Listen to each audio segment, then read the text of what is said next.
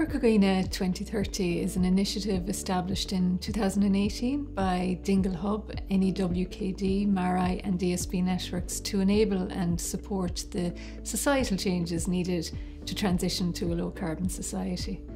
Um, what we have discovered on the journey is a community rich in innovation, with many initiatives already underway and many people eager to be part of positive change. Uh, we set up a sustainable energy community as part of the SEAI, Sustainable Energy Authority of Ireland's schemes. And within that, then um, we had a spin off of a particular sustainable energy community for the farming community, West Kerry farmers. It's over 100 of them involved. And this is exactly the model that I think is envisaged that you get groups together that have common challenges and then they work together. What we've seen emerge from the project is a much broader and wider diffusion of sustainability.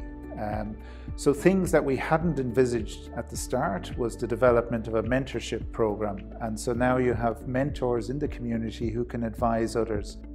Uh, and also the, the interest in the farmers in uh, developing an anaerobic digestion feasibility study. So these were the, really uh, beautiful things to see emerging and mushrooming from a project that weren't in the initial uh, plan, but they just tapped into the enthusiasm that was down there on the peninsula. Bhí Cardlan um, poblir gin, chuine mar surveys agus tháinig fermóir de gachsortan, fermóí chuirigh, fermóí stoc, agus chomáile sin gnáhhaintear an fphobal go bhfuil simimecha i cuasaí funineh in anhaite. We are engaging with farmers in Dingle to learn from their perspective what helps them in the innovation process, what hinders it, and how we can create successful opportunities for mutual collaboration towards a more sustainable future. My role involves going out on farm and looking at the grass management practices that they have in place, seeing if there's anything that we can improve and taking good ideas that are working on some farms and um, that we can use them then on, on other farms and all with the aim of making the farmer more sustainable long term. Teagasc is involved in two initiatives. Uh, the first one is the Ambassador Farm Pilot Project, and the second is the EU-funded Ploutos project. The overall vision here is to integrate smart technologies into pasture-based farming systems, be they dairy, beef or sheep production. This is based on the premise that smart technologies can have a positive effect on the management of the farm.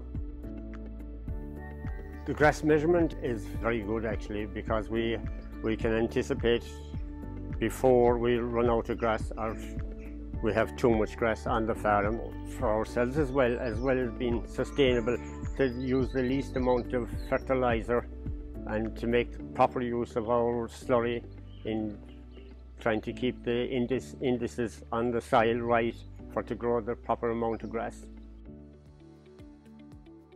I got involved in the ambassador program through a meeting that was held in town to inform about what was happening with the Dingle Hub, see how we could be involved in it because it was about the farming and to see how could we uh, be sustainable in all this.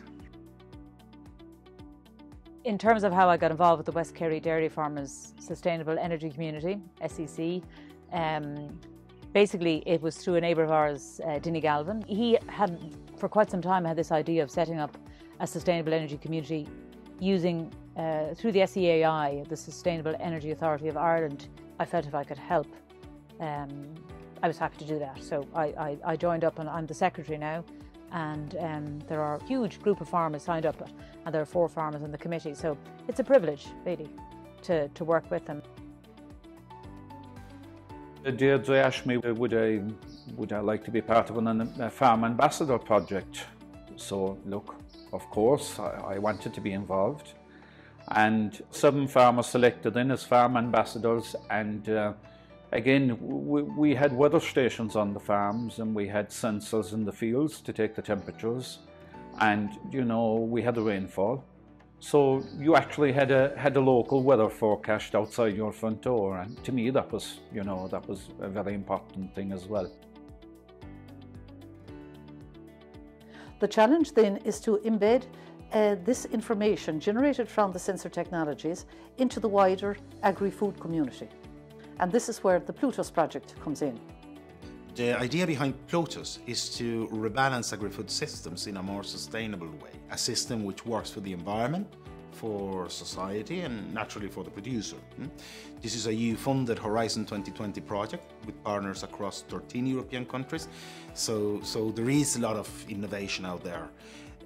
Those things we're doing right, we can share across with other partners. That's good practices to, to, to learn from one another. Hmm? And that's a very important aspect. This learning, uh, mutual learning, horizontal learning uh, experience is a very important aspect of our work. The aim of BioRbic is to support a just transition to the bioeconomy so farmers and rural communities benefit in the move to a more sustainable society. By working with farmers on the ground, our legacy will be to encourage farmers and rural communities to learn about the bioeconomy, but also facilitate bioeconomy development plans that involve farmers and include their knowledge in development plans. The Skin project is very interested in this concept of the AKIS. And the AKIS is a term that arose in the context of the European Union and it means Agricultural Knowledge and Innovation System. And what that simply means is that surrounding every actor or person in a short food supply chain is an ecology of knowledge so people have access to particular types of knowledge, they have understandings of particular types of knowledge, they know about the existence of particular types of knowledge, but they're also cut off from other ecologies of knowledge. So what we try to do is we try to build bridges and collaborations between people who are operating in different contexts so that they can bring their knowledges together and learn from each other. We're about to commence our energy master plan now in about two weeks and hopefully of the 120 dairy farmers on the peninsula, hopefully look, I'd say the majority of them will be involved.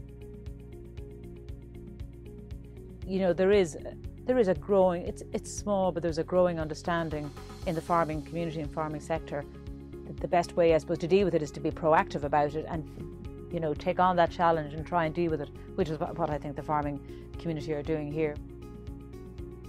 We have this lovely opportunity for a combination of, of rural development together with climate action.